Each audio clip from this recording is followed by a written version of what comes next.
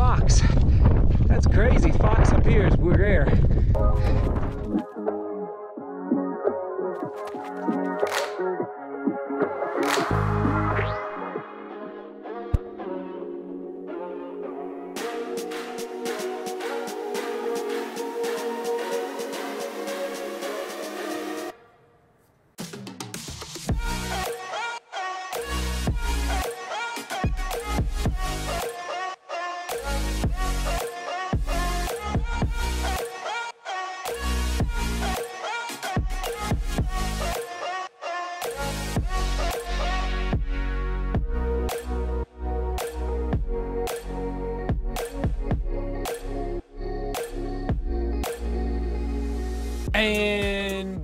to the studio, back from the mountains. Epic day up there, chasing some vertical in the beautiful green colorway. The Inov-8 Trailfly Ultra G300 Max. Did I get it right? Inov-8 Trailfly Ultra G300 Max.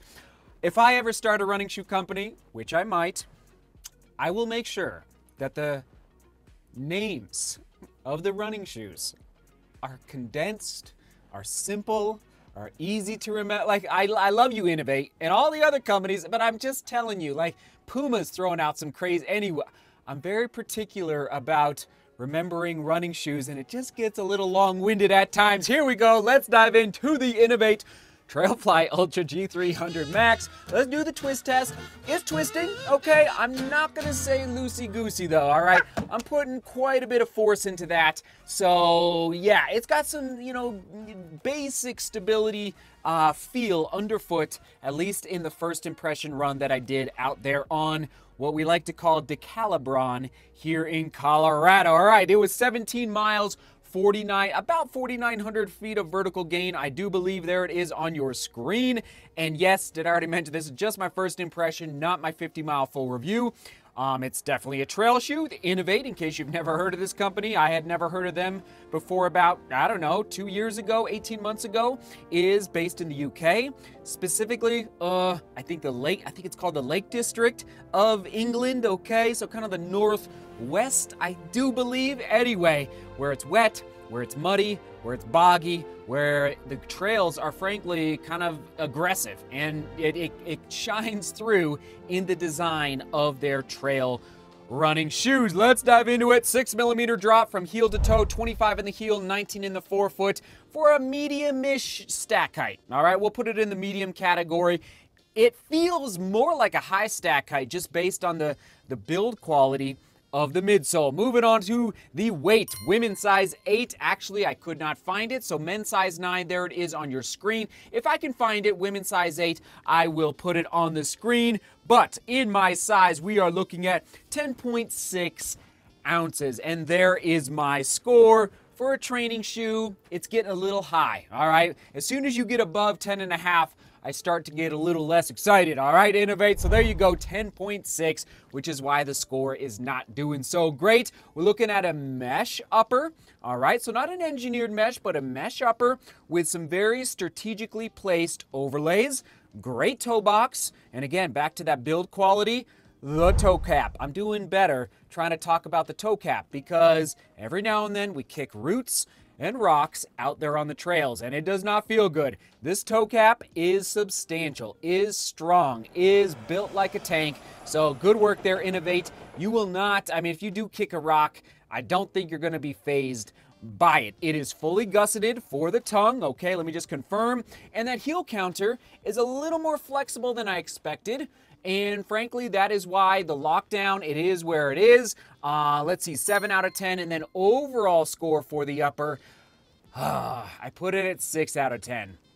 I'm getting a little, um, not babied, is not the right word. I'm getting a little used to, uh, maybe is the better word, for a little padding on the inside of the heel counter. All right, the back of the shoe, uh, just for a little better lockdown and a little better, feel through the foot strike. So, you know, all the Nike shoes are basically doing it now, and it just feels nice for my gait cycle. So anyway, Inov-8. That is my one recommendation for the upper is to add a little bit of padding here on the inside of the shoe in the heel counter. All right. Overall, you know, not the end of the world for the upper, but I think there's some opportunity for advancement in this Trail Fly Ultra. And moving on to the heart of the shoe, the midsole. Okay, let's do the durometer. Bum, bum, bum. Not so good. It's there, but it's not there. It's um I would say it's probably feeling better than oh man, is it the Terra Ultra? I'm not going to remember the exact name. If I if I can find it, I'll put it on your screen.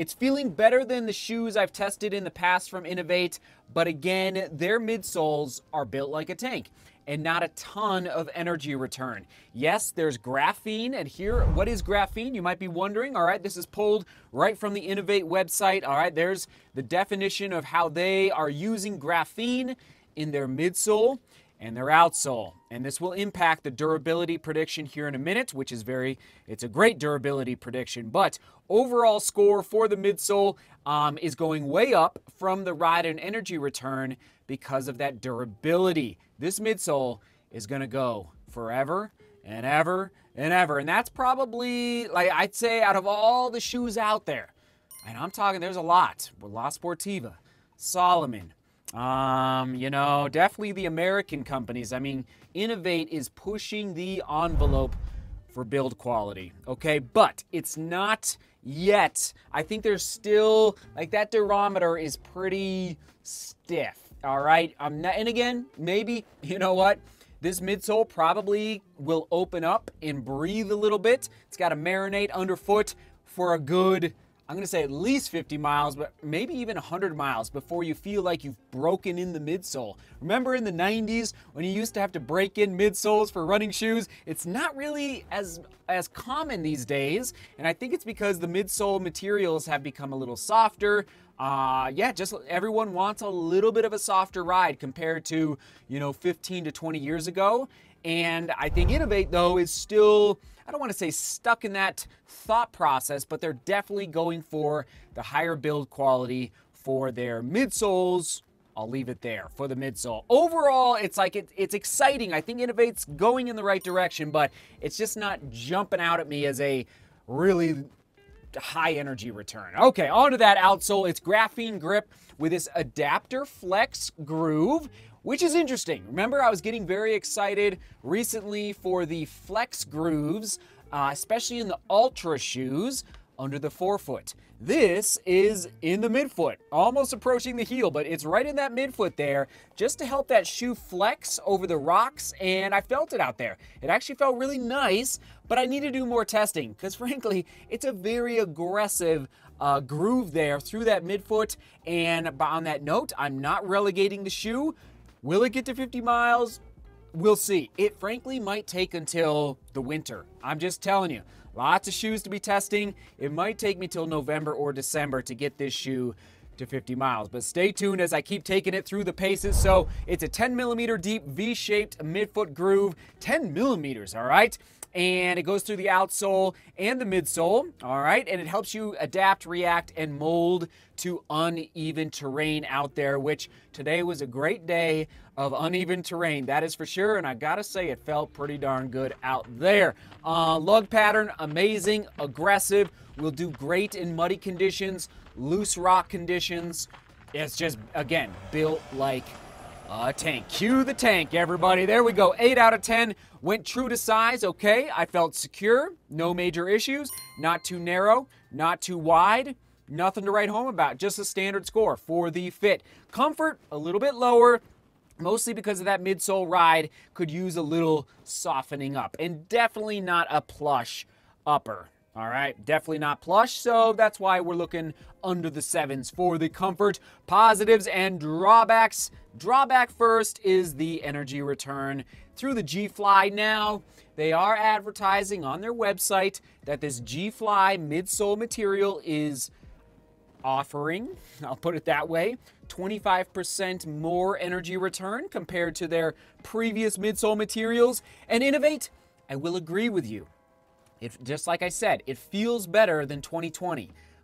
But I think there's more to come. All right, just and that's all about the testing and all about pushing these companies forward through your opinions down below in the comments. And like, we got to keep challenging these companies to not only make high build quality shoes, but also shoes that are going to perform really well. So I, am excited Inov-8. Don't hear me, don't hear me wrong that this is a bad midsole. It just, I think, needs a little more oomph under step. All right, we'll leave it there. And my positive is the build quality. It's unbelievable. On that note, durability prediction 800 plus. I'm going 800 plus. I cannot wait to see photos submitted through DeMoorGlobalRunning.com for the durability of this Ultrafly, no, Trailfly Ultra G300. Please do head over to DeMoorGlobalRunning.com and you can submit photos of the shoe if you take it past 300, 500, and yes, 800 plus miles. I would love to see those photos. Moving on to how will I use this shoe? Who is it best for? You know, you want to buy one shoe for the entire, maybe the entire calendar year, but maybe the entire summer of, of trail running. Boom, this could be the shoe for you, and I'll use it for daily training. All right, not a yeah, and long run on the trails, but it's just it's pretty heavy. Okay, by the end of a 20 to 25 mile trail long run, you will feel it in this shoe. It's just a little bit on the heavy side. Price point, oh boy. I think it's the build quality, and maybe they can get away with it. $190. Oh my my. Five and a half out of 10. That's a lot. That's just a lot. But, but, but, head over to their website. Okay, I'll try and put it on the screen and maybe link to it down below. Read up and research graphene. It's amazing. And so I can see why they're putting the price there because I do think this shoe could go the distance. But that's a lot. All right, so I'm just trying to look out for you by giving it a low score to challenge Inov-8 to see how can we strike a happy medium because I understand Inov-8. You got to pay the bills. You got to you're running a business, you know, you got to pay you got to pay your employees. I get it. But that's a lot of money for the general public out there. Other shoes to buy. There you go. It was hard to find some. It was just hard, but there you go. Actually, the Endorphin Trail also kind of built like a tank. Not a great durometer score. All right, Endorphin Trail, Peg Trail V3, Speedcross 5 kind of it, yeah kind of reminds me of the speedcross 5 frankly. And then the lastly the asics trabuco max from asics. All right here we go. Shoe quick specs for the Inov-8 trailfly ultra g300 max on your screen. Soak it in.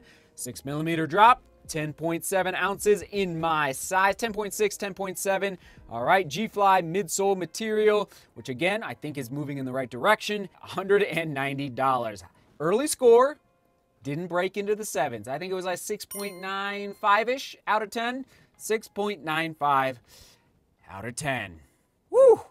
that price point really hurt it okay? I think it would have been in the sevens if it wasn't for that price point. There you go, everybody. I'm excited. Overall, don't give up. Inov-8. Uh, I will. I will not give up on you. You don't give up. I, I will keep testing, and maybe after 50 miles, that midsole will start to breathe a little bit. Comment of the day being pulled from the vlog where I tested the shoe from Sultan Katak. Uh, sorry about the pronunciation. Man, looking at all of these hard workout vlogs of yours, all I'm thinking is how you're recovering from them. So, guess I guess what? I'm gonna have to start rewatching your recovery playlist. I actually don't think I have a recovery playlist, but I have a lot of vlogs, which I will link to upper right hand corner, all about recovery. He finishes by saying, Oh man, the runner's life is awesome. I couldn't agree more, Sultan. It, it is awesome. It's hard, it's tiring, it's early wake ups, it's sacrifice, it's eating healthy, it's foam rolling, it's recovery. But at the end of the day, it's the purpose. It's the, I mean, I hate to steal the phrase, but it's the purpose driven life. You know, you got this purpose every day to turn that doorknob. I love it. All right, question of the day. Here we go. Uh, what's the most, I've asked this before. Got to go there. What's the most beautiful place you've ever seen? It might be out your front door, it might be on the other side of the world. What's the most beautiful place you've ever seen? That's actually a very hard question because uh, there's a lot of amazing places out there. All right, everyone, thanks for being here. Thanks for tuning in. Keep turning that doorknob. All right, seek beauty. Oh, we toss it too. I don't know if I actually have an Inov-8 playlist. If I don't, I will make one. Right here, right here. Innovate, innovate, innovate. Right there. I don't. It's probably not a ton of shoes, but right there, right there, right there. All right, seek beauty, work hard, and love each other. See you tomorrow.